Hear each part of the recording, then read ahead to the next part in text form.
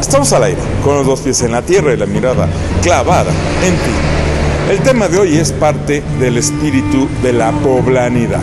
Es la Talavera y qué mejor que Talavera Uriarte, la fábrica más antigua de Puebla, la fábrica en general más antigua de Puebla desde 1824.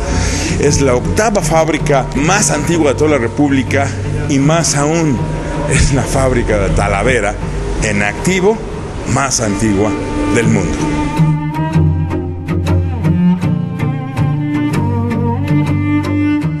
Es el resumen de todo el proceso de la talavera, desde la elaboración en el barro con dos tipos de barro, barro blanco y barro negro, eh, que una vez dada la forma entran al horno a 850 grados para obtener la pieza en lo que nosotros llamamos jaguete, que quiere decir galleta en náhuatl.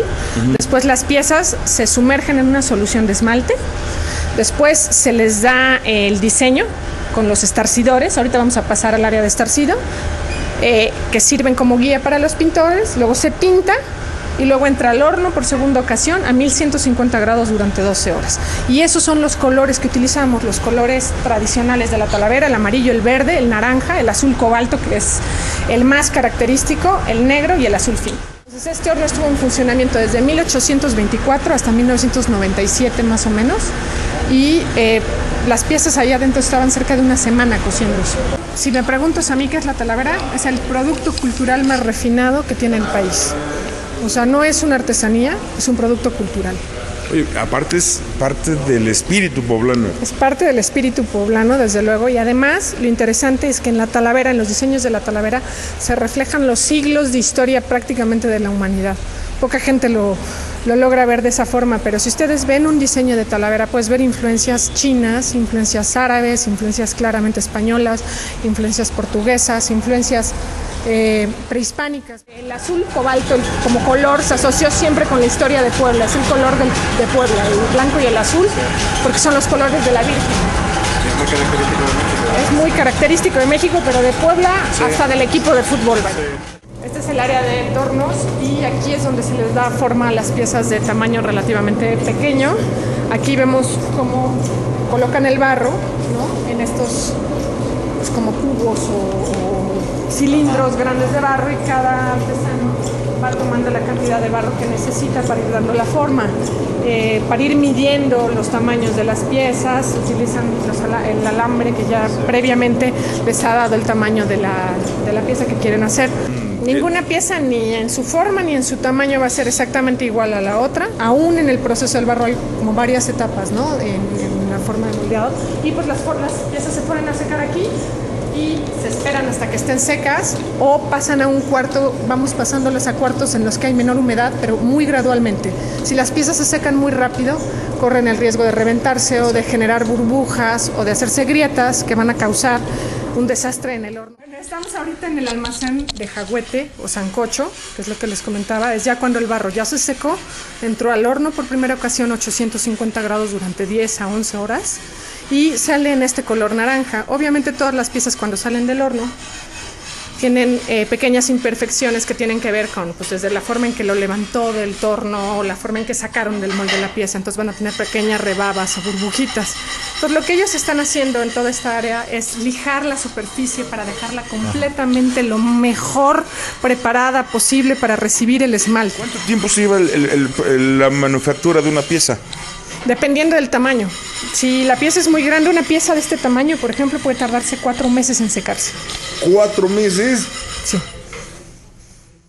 Aquí es la única parte de la talavera donde tú vas a ver el bar. Y es que estas piezas van a entrar al horno así, puestas de esta forma, ¿no? Entonces, si yo las pongo así, se me van a pegar en las placas que están en el horno, entonces pues, sería una tragedia porque luego cómo las despego de las placas. Al consumidor le permite ver que está tratando con... Eh, con, barro real de Talavera, ¿no? Incluso las imitaciones de Talavera se toman la molestia de pintar en naranja la parte de abajo para hacer creer que es barro. Pero en realidad es una cerámica blanca o una pasta blanca que pintan de naranja. Otra de las cosas más importantes es el marcado de las piezas. Todas deben de traer el logo de Uriarte, que es una I y una U por nuestro fundador Ignacio Uriarte y eh, llevan DO4, que es la denominación de origen 4 y la fundación de la fábrica en 1824, así como la fecha de fabricación. Además, las piezas cuando te las vendan deben de traer un certificado de autenticidad y un holograma. Tenemos un área como que tiene más que ver no tanto con la creación de obras para venta comercial, sino para la creación de obras de arte en la que invitamos artistas plásticos a hacer obra en Talavera y eso son proyectos especiales. Entonces el artista viene y trabaja desde las formas, los que quieren trabajar formas o los que son pintores trabajan sobre formas ya dadas, ¿no? Entonces tú le puedes entregar un tibor a José Luis Cuevas y te pinta un tibor. En el patio tenemos un tibor, el tibor más grande del mundo, pintado por Raúl Anguiano. Tenemos cerca de 1200 diseños entre variaciones, eh, cambios de color, etc. 1200 opciones, ¿no? Talavera no es una cosita de la provincia de México, es un producto de lujo que puede ser un luxury brand con cual sea. Cuando tú hables de Hermès, de esas grandes marcas franceses, italianos, pues ¿por qué no tenemos un mexicano en este nivel? Cosas hechas de mano, mano fino. Los americanos, canadienses, europeos, uh, cuando tú hables de cosas hechas de mano, pues están fascinados. Entonces, el mercado donde, no, aquí en México por seguro hay grandes mercados, estamos haciendo ahorita de remodelación de varias haciendas, pero el extranjero encanta, porque de hecho de mano es algo que ya casi no existe ¿no? en los países más. entonces, entonces, de mercado fuerte, de verdad, un americano entra de visita a esta fábrica y pone de rodilla casi. Entonces, de lunes a viernes a las 11 de la mañana es posible dar recorridos a, a cualquier persona que nos visite. Y damos recorridos también en inglés. ¿Cómo te quedó el ojo? Esto es Talavera Poblana, esto es Orgullo de Puebla. Tú y yo nos vemos en la próxima de la jungla de Mariano.